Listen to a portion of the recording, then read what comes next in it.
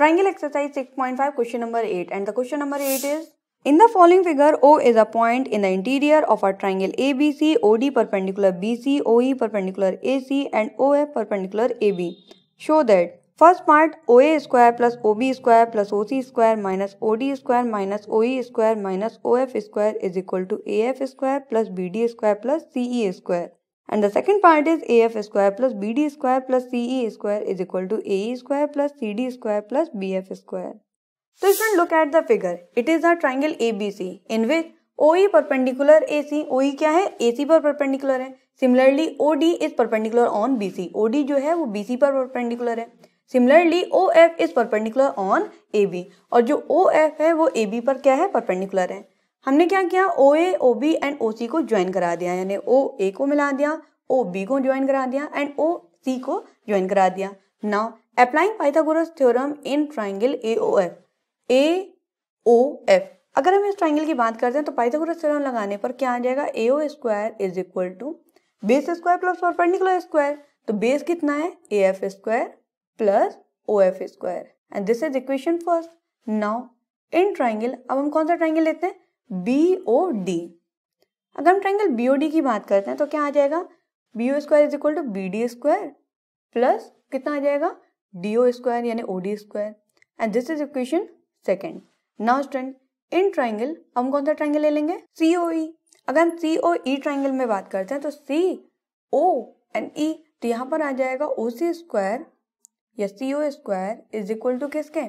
O E square plus C E square and this is equation third now start adding the equation first second and third यहाँ पर लिख देंगे by adding equation first second and third अगर हम three equations को add करते हैं तो क्या आ जाएगा? A O square plus B O square plus C O square is equal to A F square plus O F square plus B D square plus O D square plus O E square plus C square तो student अब हम क्या करेंगे कि O D square O E square and O F square को right hand side से left hand side में transpose कर देंगे।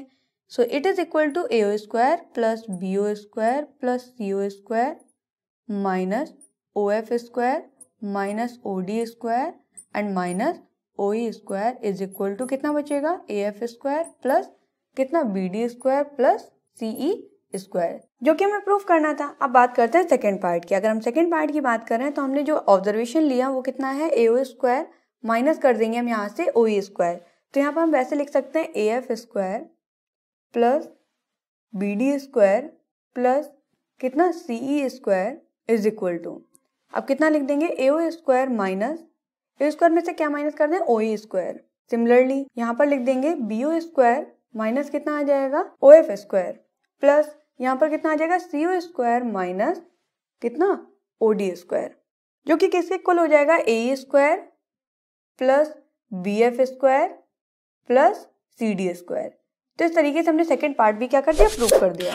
Triangle exercise 6.5 question number nine and the question number nine is a ladder 10 metre long reaches a window eight metre above the ground find the distance of the foot of the ladder from base of the wall तो student O A क्या है? एक wall है and A B क्या है? Ladder है। Ladder मतलब एक सीढ़ी है। तो जो ए बी की लेंथ है वो कितनी है? टेन मीटर है। और साथ में जो विंडो तक की हाइट है वो कितनी है? एट मीटर है। यानी ए क्या है, एक विंडो पॉइंट है, जहाँ पर ये लेडर क्या है? टिकी हुई है। So student O A B the wall and A B B the ladder A B क्या है? लेडर है। देर वो बाई पाइथागोरस थ्योरम हम क्या करें? पाइथागोरस थ्योरम अप्लाई करें। पाइथागोरस थ्योरम क्या होगी? A B square is equal to A O square plus O B square तो स्टूडेंट ए बी की वैल्यू कितनी है? Ten so ten square is equal to AO AO क्या है? Height of the window from the ground and that is equal to eight square plus O B square now student O B square is equal to hundred minus sixty four is equal to कितना आ जाएगा? Thirty six so O B is equal to square root of thirty six and that is equal to six metre तो student distance of the ladder from the base of the wall is equal to कितना आ रहा है? Six metre आ रहा है, जो कि हमें फाइंड आउट करना था।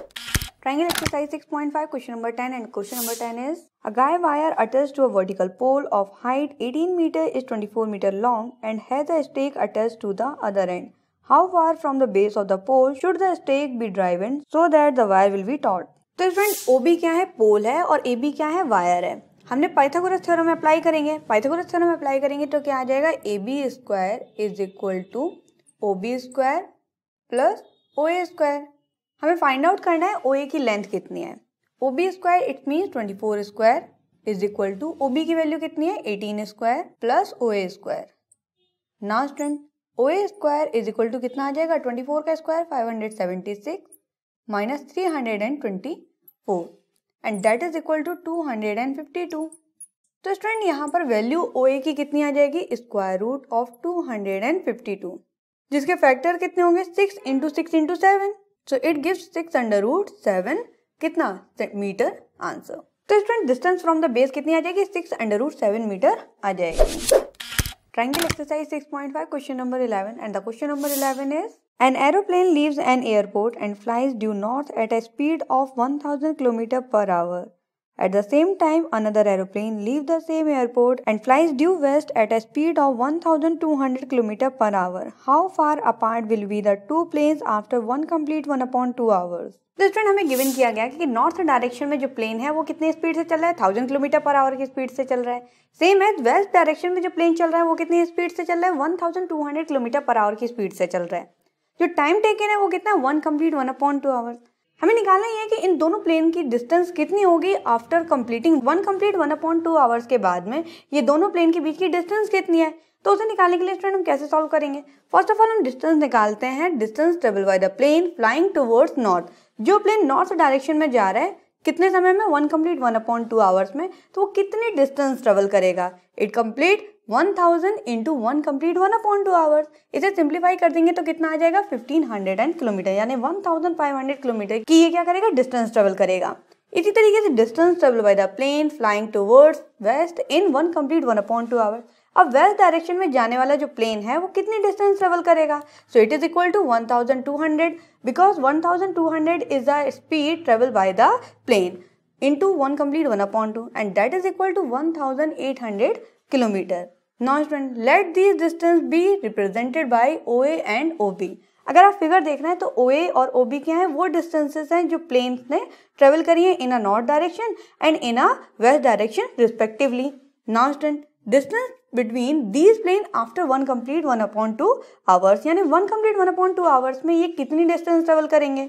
So A B is equal to square root of O A square plus O B square ये क्या है? एक पाइथागोरस थ्योरम है। तो यहाँ पर perpendicular square plus base square लगा देंगे। कितना आ जाएगा? Fifteen hundred square plus eighteen hundred square तो स्टूडेंट फिफ्टीन हंड्रेड का स्क्वायर कर देंगे प्लस एटीन हंड्रेड का स्क्वायर कर देंगे। दोनों के स्क्वायर्स करने पे जो वैल्यू है वो कितनी आ रही है? Nine into sixty one into ten thousand तो नाइन का स्क्वायर रूट होता है थ्री एंड टेन थाउज़ेंड का स्क्वायर रूट कितना हो जाएगा? हंड्रेड थ्री इंटू हंड्रेड करा देंगे कितना आ जाएगा three hundred and the final answer is three hundred square root sixty one kilometre so the distance between these two plane that are travel in a north direction and in a west direction is equal to three hundred square root sixty one kilometre